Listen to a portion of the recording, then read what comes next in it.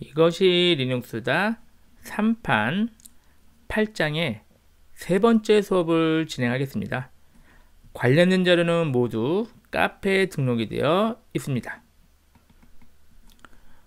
자, 원격 접속 서버 세 번째인 XRDP 서버를 알아보도록 할까요?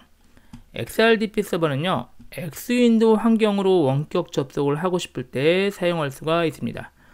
앞에서 했던 Telnet 서버나 SSH 서버는 터미널 모드, 그러니까 텍스트 모드로만 접속이 가능한데 XRDP는 X Window 모드까지 접속을 지원을 합니다. 오른쪽에 원격 데스크톱에서 X Window 모드로 접속을 할 수가 있겠죠. 어때요? 훨씬 더 자유로운 환경으로 접속이 가능합니다. 단점이라면 그래픽 화면을 전송하니까 속도가 느릴 수밖에 없습니다. 원격지에서 X Window 모드로 접속할 때 사용을 하고요. 주의점이 클라이언트는요, Windows만 지원을 합니다. Windows 안에 포함된 원격 데스크톱을 사용해서 접속을 하면 되고요. 자, 설치 과정 요약은 역시 서버를 설치하고 서비스 시작하고 방화벽 설정하면 돼요. 그리고 PC의 윈도우즈의 원격 데스크톱에서 접속하면 됩니다. 자, 실제 접속되는 화면인데요. 직접 한번 구, 구축을 해보도록 하죠. 역시 서버를 초기화시킬 필요는 없어요. 여기에 지금 텔레 서버, SSH 서버, 그리고 XRDP 서버까지 가동돼도 문제는 없습니다. 자, 설치할게요. 자, 그런데 문제가 XRDP 서버는요, 기본적으로 Rocky Linux에서 제공을 하지 않아요. 그래서 Rocky Linux 제공하지 않고 Fedora 커뮤니티라는 곳에서 제공을 하거든요. 그러면 Fedora 커뮤니티에 있는 것을 설치하는 방법이 이렇게 진행하시면 돼요. 자, 일단 dnf-y 인스톨러요. epel dash release 얘를 먼저 설치를 해주세요. 그러면 지금부터는 새로운 저장소가 만들어 저장소가 지정이 되는데 이 저장소에서 우리가 Rocky Linux에서 제공하지 않는 패키지를 설치를 할 수가 있습니다. 자, 설치해 볼까요, 현재? 자, clear하고 dnf -y install이요. xrdp가 설치가 이제 진행이 됩니다. 엔터. 하면 우리 Rocky Linux 저장소에는 없지만 방금 한 Extra Packages for Enterprise Linux 이거거든요. 우리가 조금 전에 설치한 게 여기서 지금 다운로드 받아가지고 설치가 진행이 되네요. 자, 지가 알아서 필요한 거 설치가 금방 완료가 됐네요. 자, 이제 서비스를 시작할까요? 자, 시스템 ctl 스타트로 xrdp 이렇게 시작을 하시면 됩니다. 아무 메시지 안 나면 잘 시작된 거라고 보시고 확인 차원에서 스테이터스로 확인하시면 돼요. 스테이터스.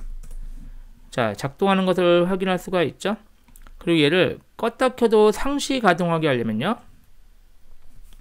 시스템 CTL로 enable이요. enable xrdp 하면 자, 컴퓨터를 재부팅해도 얘가 상시 가동하도록 설정까지 했습니다. 자, 이번에는 방화벽을 열까요? 자, 방화벽 포트를 열게요. 방화벽 포트는 3389번을 사용합니다. 3389번. 그러면 3389번을 열어주도록 하죠. 자, 그 방법을 한번 살펴볼게요. 어떻게 여는지. 자, clear하고요. firewall config 방화벽 프로그램을 실행하고요. 자, 여기서 우리 포트 번호가 기억나죠? 3389라 그랬죠? 그래서 public으로 일단은 영구적 선택을 하시고요. 자, 서비스가 아니라 이 포트를 선택하세요. 포트.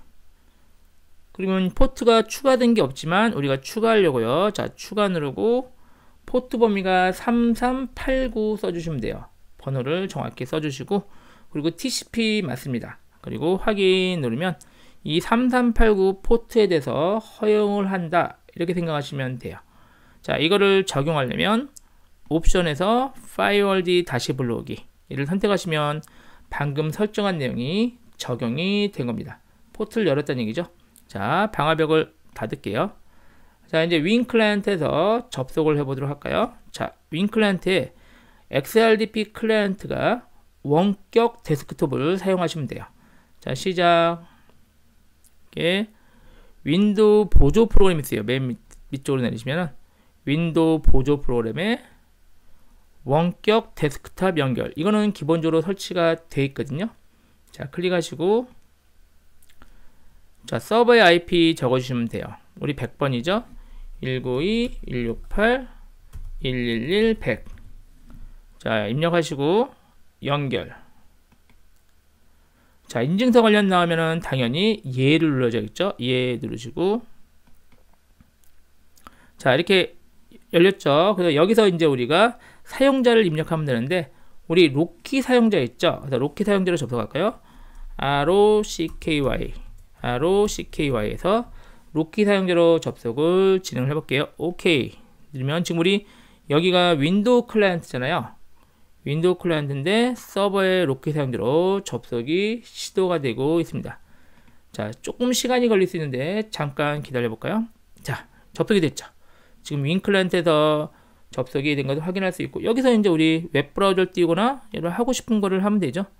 지금 윈도우즈인데 리눅스에 접속이 돼서 지금 사용을 하고 X윈도우 환경으로 접속한 거죠. 사용을 하고 있는 겁니다. 자, 원하는 뭐 사이트라든가 이런 걸 접속해서 어, 맘대로 사용할 수가 있게 됩니다. 우리 텔넷과 또는 SSH 서버보다는 좀 더 자유롭게 사용을 할 수가 있겠네요. 자, 종료하는 것은 여기 X자 위에 요거 닫으시면 확인. 해서 접속이 종료가 되었습니다. 지금 구축한 세 가지 원격 접속 서버를 비교를 하는 게 좋아요. 그래서 텔넷, SSH, XRDP 팩인데 속도는 텔넷과 SSH는 굉장히 빨라요. 이유가 텍스트 파일만 주고받기 때문에 빠를 수밖에 없는데 얘는 약간 느립니다. 느린 이유가 그래픽 모드가 전송이 되기 때문이죠. 그래픽 지원은 XRDP만 되는 거 맞고요. 보안은 텔넷은 약하고 SSH는 강하고 XRDP는 뭐 보통이라고 생각하시면 될 것 같아요. 사용 가능 명령은 당연히 텔넷과 SSH는 텍스트 기반만 가능하고 XRDP는 제한이 없겠죠. X윈도우 환경까지 사용할 수 있으니까. 클라이언트는 텔넷 서버에 대한 텔넷 클라이언트는 대부분의 운영 체제에서 기본 제공되고요. SSH 클라이언트는 윈도우즈는 별도로 설치했죠. XRDP는 윈도우즈의 원격 데스크톱을 사용하면 됩니다. 자, 결론적으로 한번 이렇게 설정을 되게 하는데 한번 읽어보시기 바랍니다. 자 이렇게 해서 우리 8장 원격 접속 서버를 마무리 졌고요. 여러분은 비타민 퀴즈 8-2번을 통해서 직접 한번 다시 한번 해보시는 걸 권장을 드립니다. 자 8장을 마칠게요.